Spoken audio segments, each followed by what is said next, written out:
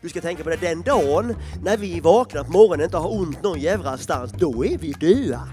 Och drack och pinka och pinka och drack och drack och pinka och pinka och drack och där är det ju viktigt att man är i fas. Sket sig direkt, jag heter ju Karl Thomas, det blir ju KT Pettersson.